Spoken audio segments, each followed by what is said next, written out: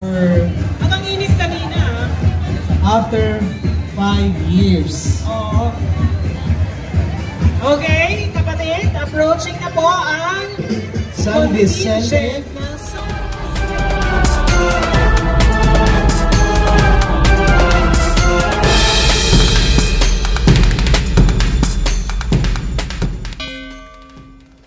Halang bayan sa lalawigan ng Palawan sa taglay nitong ganda mula sa malaperlas na buhangin at berdeng bukirin.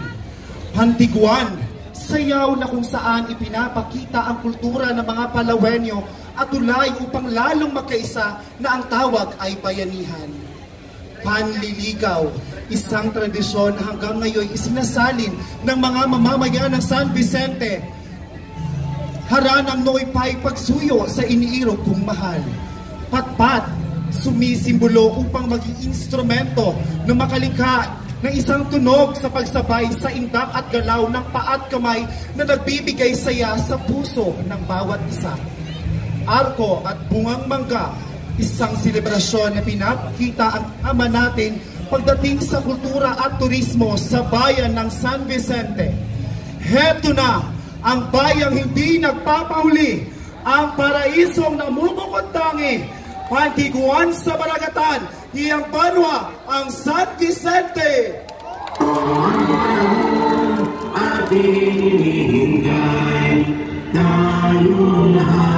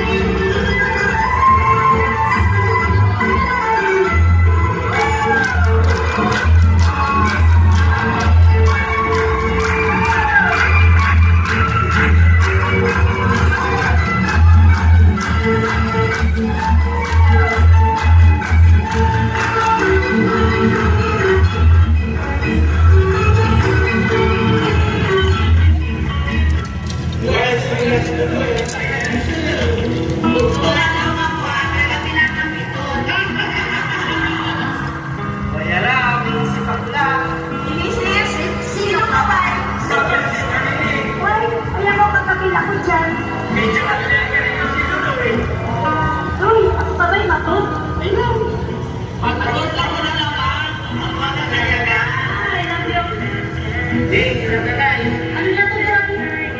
Pagkain?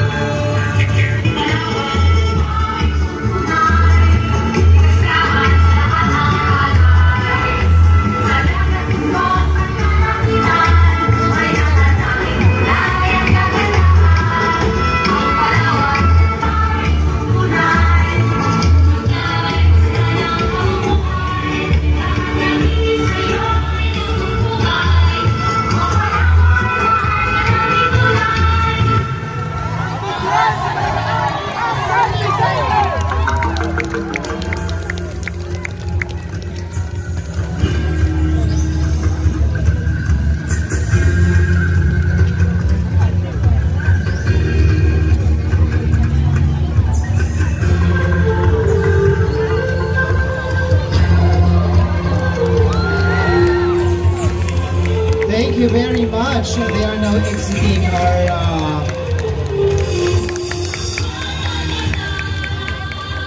judging boy. Maraming maraming salamat po. Honorable Mayor Ami Roa Alvarez. At partner niya, kasama Chris, si SP Ramir Paptico.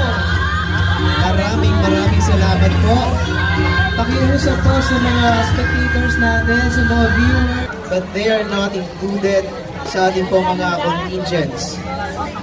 Eh, maraming salamat, Bayan ng San Vicente, sa sangguniang kabataan at mga barangay officials. Thank you!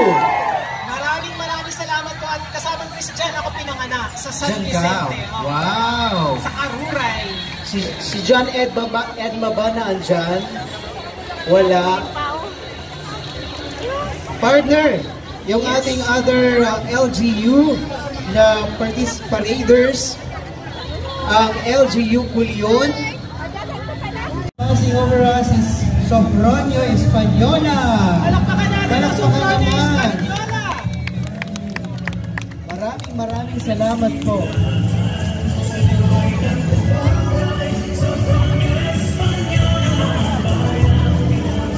Isang mabilis mabilis ang kaway, Sofronio Española. Yun, maraming maraming salamat po.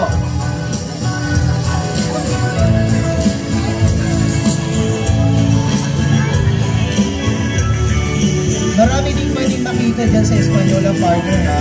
Partner dyan sa Sophronia Espanola, yung uh, water supply system dyan ay napaka kamanghamang natin. Wow. Kasi 80 kilometers. Wow. 80 kilometers ng pipeline na ginamit. Ganon kahaba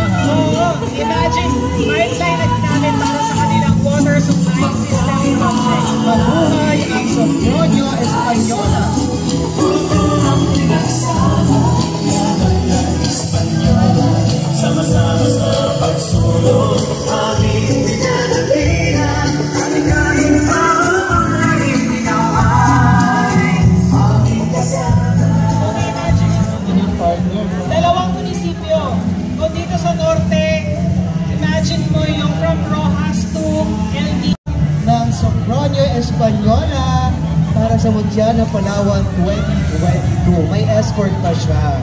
Siyempre, kanilang flow. Matipuno at maganda. Oo nga, ba't dito tayo? B Hindi na natin makita. ang kanilang flow. Marami sigurong mga ano dyan, pukyutan partner. Mga Marami- kapatid! mga kapatid, urong-urong naman tayo, please! Paurong lang po. Napaka-creative din ng mga taga-bayan ng Taytay. Siyempre kasama yung kanilang mayor. At syempre yung kanilang yung Municipal Tourism Mayor Officer, Rodriguez. Joey Matiliano. Saan si Sir Joey? Yung kanilang mga SB yun? officials. And of Ayan. course, their barangay officials. Binabati kabab- ni Sir Arnold Valdez ang kanyang mga kababayan sa bayan ng Taytay. Sa Kasyan, na din na ng mga Ang taga-Kasyan. mga taga-kasya na din. Dagi, Para? Ara, Aroy, Diyan. ang mga taga-poblasyon. Si Ma'am Lizette. Ma'am Lizette. Napakaganda naman ni Ma'am Lizette. Correct. Napaka-sexy. Maraming salamat po sa munisipyo ng Taytay. And now, ang kanilang float partner kung saan sakay ang kanilang pambato sa Mutya ng Palawan 2022.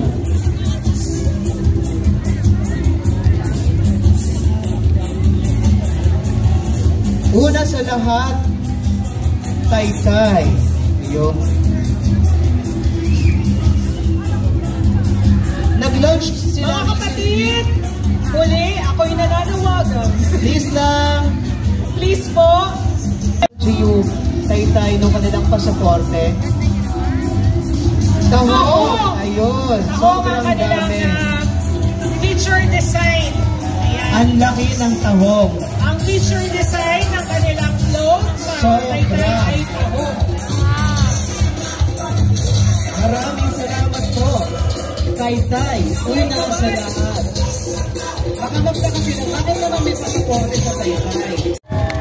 Kaway-kaway sa mga taga-city of Puerto Princesa.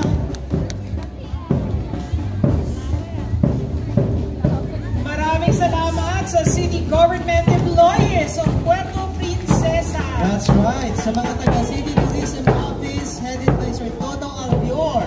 Maraming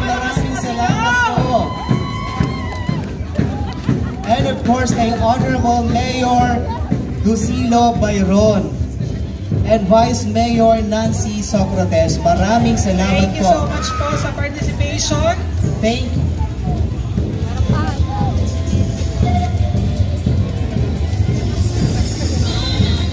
Thank you very much Maraming po. salamat sa ating mga judges, partner.